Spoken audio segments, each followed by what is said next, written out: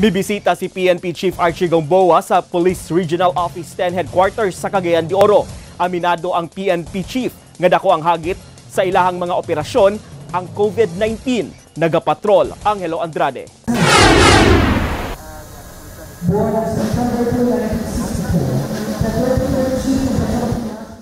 Nibisita sa Camp Alagar sa Cagayan de Oro si PNP Chief Archie Gamboa kaganihang buntag. Sulod sa kampo, kamatikdan ang pag-obserba sa social distancing, pag-disinfect sa mga bisita ug pagsuot sa face mask sa mga pulis.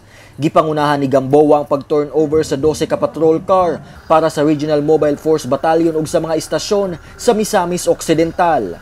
this is just part of the 40 million nga atong nabutang sa PNP as part of our congressional initiative no insertion kini usa sa pagrekognisar sa PNP institution partner namo sa pagluwas sa Misamis Occidental from what we were uh, what we were to be before and what we are now today.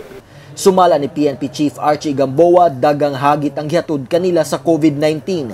Sa kasamtangan dunay 510 ka pulis ang natakbuyan sa virus kung asa siyam niini ang patay. Naatay gitukod nga RT-PCR sa Krame, but soon mosunod ang Visayas because of the infection in Cebu.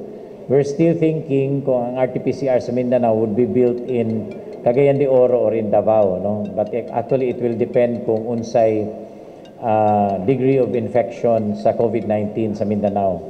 Gawa sa pag-turnover sa mga patrol car, gipangunahan sab ni Gamboa ang awarding sa napulo ka meritorious awardees nga pulis.